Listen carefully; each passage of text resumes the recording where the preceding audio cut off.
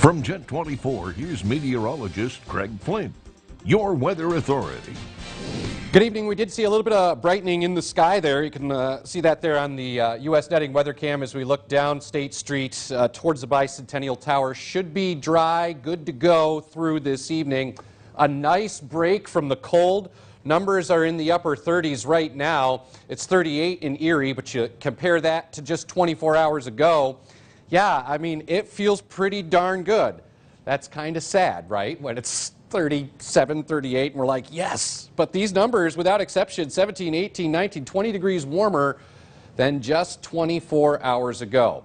Now, we are watching uh, a few minor systems that will have a few light snow showers and flurries with them at times as we head through the overnight and into the day tomorrow. But a bigger system taking shape, crashing into the Pacific Northwest now.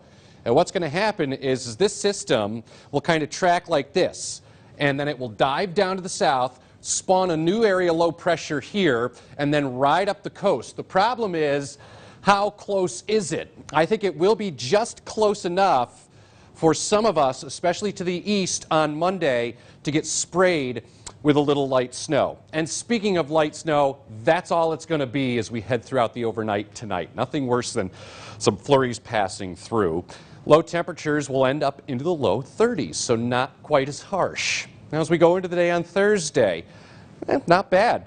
Uh, clouds, and there will be a few passing flurries or light snow showers around, especially late in the day, and it might just be borderline warm enough for some of this to mix with a rain shower right near Lake Erie uh, as we go into the evening hours, uh, and then some light snow showers around Thursday night.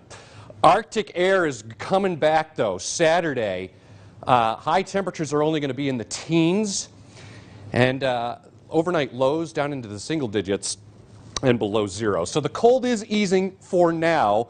Fairly quiet Thursday. It will turn colder again by the time we get to Friday, and then back to the tundra Saturday. Jet pinpoint for the lakeshore tonight. Uh, nothing worse than a few snow showers or a flurry, less than an inch of accumulation, lows 29 to 34.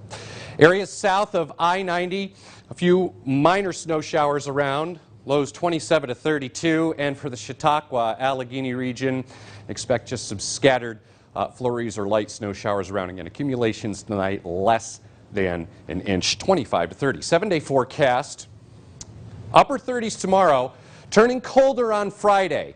Nothing worse than a few snow showers or flurries. Temperatures are dropping, 27 back to the Arctic air. Saturday only 18, 6 at night. Sunday, chilly but sunny, 27 and we'll watch that storm system coming up early next week. Could scrape parts of the area, especially to the east, with some light snow. Uh, we'll keep you updated. You can find the forecast updated at the website at yourerie.com under the weather tab. Jill, over to you.